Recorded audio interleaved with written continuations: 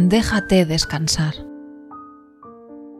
Si estás agotado, descansa. Si no tienes ganas de comenzar un nuevo proyecto, no lo hagas.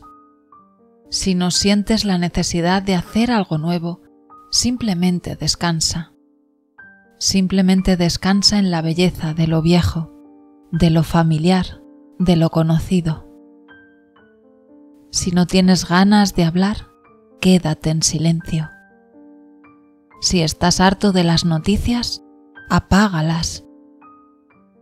Si quieres posponer algo hasta mañana, hazlo. Si no quieres hacer nada, no hagas nada hoy. Siente la plenitud del vacío, la inmensidad del silencio, la pura vida en sus momentos improductivos. No siempre es necesario llenar el tiempo. Eres suficiente simplemente en tu ser.